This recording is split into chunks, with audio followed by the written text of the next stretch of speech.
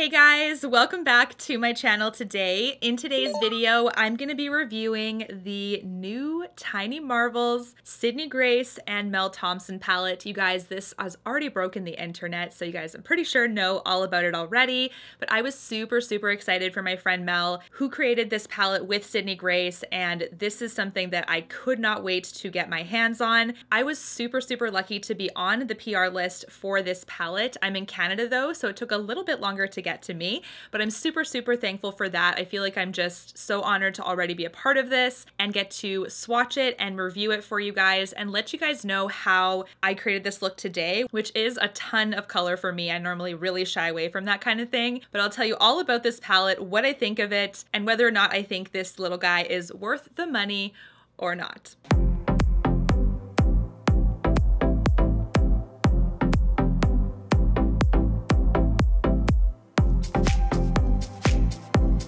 All right, guys, so this is the brand new Tiny Marvels palette from Sydney Grace and Mel Thompson. This is a actual brand I have never reviewed before, which has been pretty exciting for me. Sydney Grace, I believe, is an indie brand, and they have some amazing quality shadows. A lot of my friends have been saying this for such a long time. If you haven't seen Mel's reveal video, I'm gonna link it in the description box for you because it's super cool. If you don't know who Mel is, she has a ton of beautiful tattoos on her body, and essentially these are some of the colors that are within her tattoos, which is so cool. And this is the inside. So I'm gonna try to show you. Here we have the inside of this, like isn't this so, so beautiful? I really, really love how she put this palette together. This is actually something that also I was looking for personally, which is kind of hilarious because there's kind of like a little bit of a pastel trend going on right now. It has been kind of since early spring. There's been some other brands that have released pastels, but I've found that the quality of them have hasn't been great. And so this is something that I was like, wow, I can finally have some pastels in my collection that are actually good quality.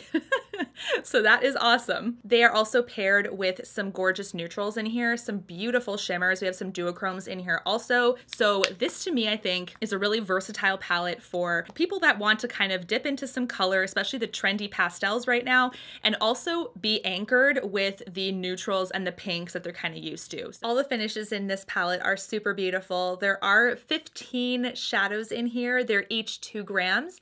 So we do have 30 grams total product in this palette. So this palette is 50 52 American dollars. It is currently back ordered on the Sydney Grace site. It literally broke the internet. It was sold out within the first day of launch, I believe. So I was so, so happy and proud of her. Mel is a professional makeup artist, so she does know what she's talking about when it comes to shades, putting palettes together, things like that. She just has a visual eye for this, and it's definitely a beautiful palette, as you can see from the color story alone. According to one of the representatives from Sydney Grace, they did comment on an Instagram comment recently talking about when the pre-ordered palettes were going to be back in stock and they're hoping for the middle of September.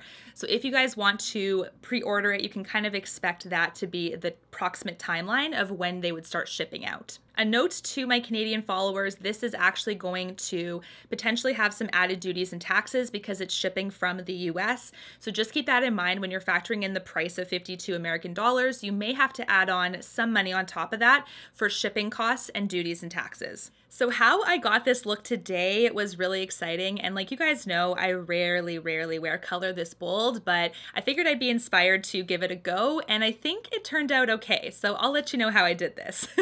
The first step I used is I used a Rephr number one brush and I dipped into Flutterby and I just applied it in the crease area, doing back and forth like windshield wiper motions just to get a really nice blended look. This is a really beautiful coral kind of pink color that I wanted to anchor this rainbow look with. So I just started off with the crease area. This is how it looks on the hand, you guys. That is one swipe. It is absolutely insanely pigmented.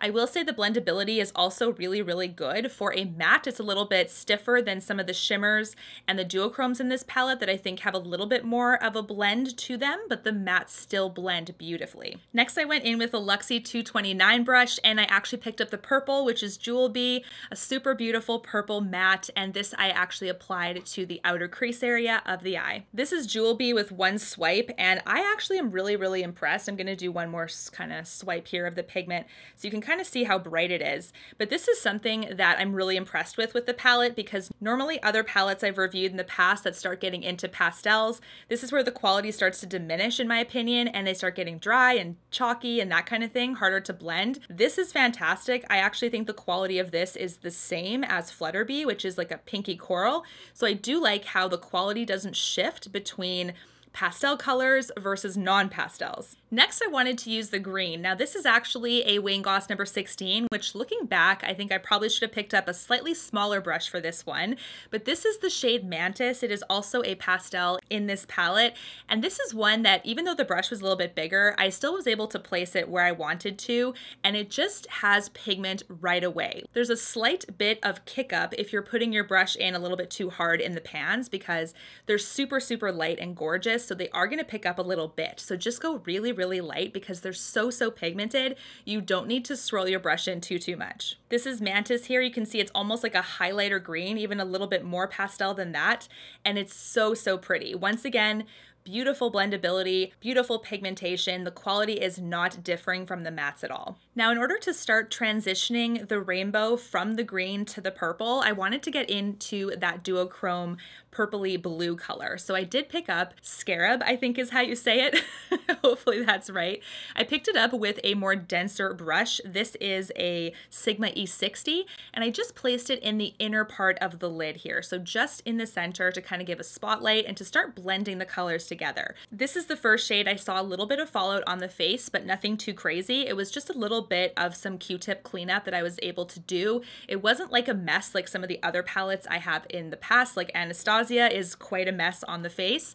This was just a little bit light, so I will say to kind of watch out for that. Super, super soft in the pan. I'm going to show you. This is a beautiful duochrome blue purple shift. You can see that there. I have seen this shade actually in some other palettes, but I do think that this is a beautiful shade to include in this one. So definitely like the quality of the duochrome and the shimmer are just fantastic. Next, I went in with a Rephr number two eye brush and I actually picked up Fire Butts, which is the yellow yellow gold color. Now that just kind of made me laugh like fire butts. I think it's such a cute shade name for this color. Super, super gorgeous. Once again, very soft in pan, extremely pigmented.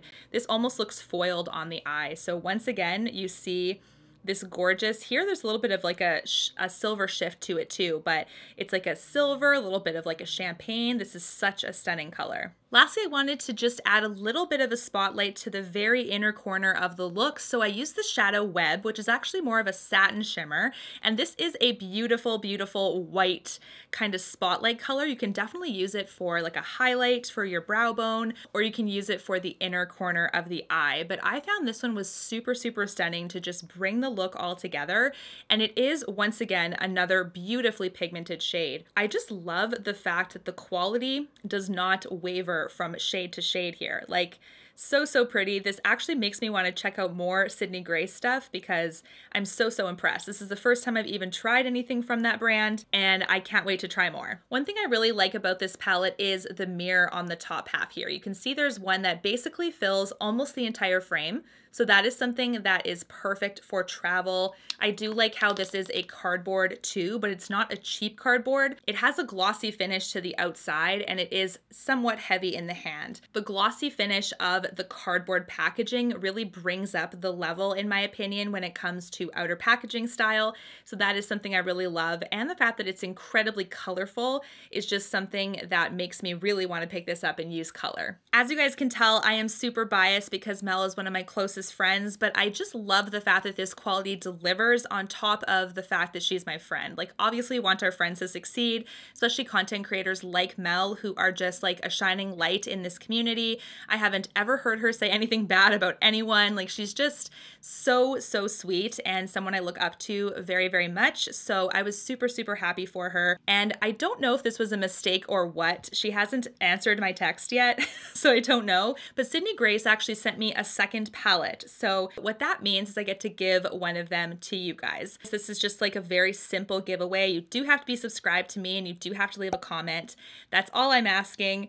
And this is open internationally also. So I will be drawing the name of this one in just a week's time. It's not going to be a super long giveaway or anything. I did actually open this up just to make sure. I was actually wearing gloves when I did open it up, but I did want to make sure that this palette wasn't broken and it isn't. So this is a perfect palette, just like the one that I have, and I'm super excited to give this away to one of you guys. So just leave any comment, doesn't have to be anything crazy, just any comment about the palette or whatever you want in the comment section, and make sure you're subscribed to me. That's also a qualifier to get entered. Lastly, we have the swatches, of course. So this is actually a spot where I'm gonna put the swatches in sunlight. I'm also gonna show you how it looks in studio light so you can see the difference. There's a little bit of a difference at times between studio and sunlight. Well done to Mel for putting this palette together. I'm so excited to continue to dive into this one. If you guys were able to get it, do let me know your thoughts on what you think of it. Do you love it? And what looks have you created already? Because I do feel very inspired by you guys and I do want to keep playing with this one and really challenge my artistry, basically. Until my next one, guys, take care. Good luck with the giveaway and thanks so much for watching. Bye, guys.